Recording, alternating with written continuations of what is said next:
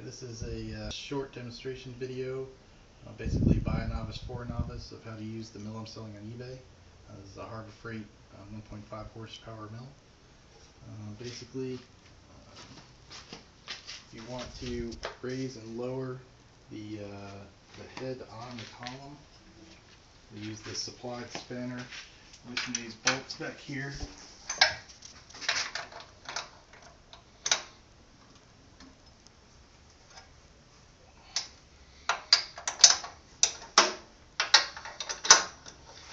That allows you to move, to rotate the head left and right. And also using this uh, lever here, you can lift and, and lower the head to the height you want based on how long your tool is. I'm just going to tighten that down again.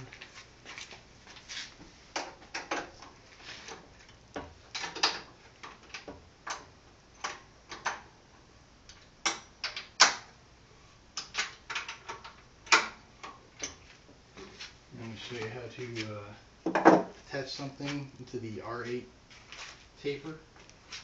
This is the uh, high quality um, chuck that I'm selling with the mill. I was not too crazy about the one that came with it. It had a lot of run out. So basically you're going to spin this um, R8 uh, taper until you until that keyway finds its home. Then you push it close to the top. Come up here where I'm going to then spin the uh, drawbar into the R8 tapered fixture. As you'll see here, I added a, um, a thrust bearing. It's a needle thrust bearing. It uh, reduces the uh, friction in between these two surfaces, makes it far easier to tighten without damaging your drawbar. To go ahead and snug that up.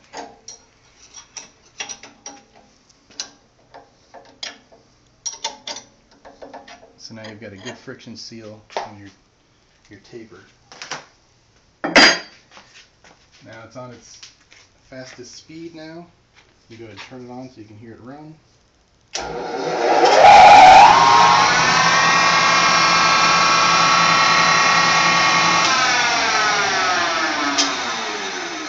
That's forward, this is reverse.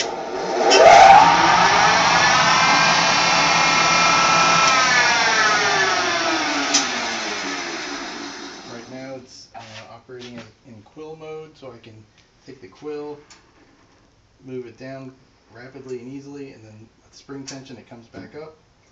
Um, if you want to use use it in a more precision mode, we'll tighten that down, and then you can use this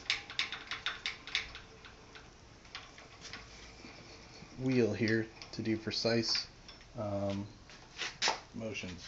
Uh, now you've got the table here. Similar thing, use a wheel to crank it left and right. Um, these two leaf springs here, um, what they do is they tighten the gibs that hold it, and um, basically you want them snug during normal use, or you can tighten it down hard, and it will lock that axis in place while you're using the other axes. Um, then you've got the same two leaf springs for the y-axis located on this side. Uh, also very important, you've got several spots along the mill where you're going to want to um, forcefully inject your way oil to uh, keep it nice and lubricated. Um, last thing here, this is what tightens and secures the uh, z-axis. Um, what I like to do is just have it a little bit snug when I'm doing my precision um, Z motions, and that'll keep it from having any play. And if you're not going to use the Z axis, just go ahead and lock it down and mess with the uh, Y and X. And uh, as always, the most important thing is you want absolute rigidity when you secure a piece to, to your table.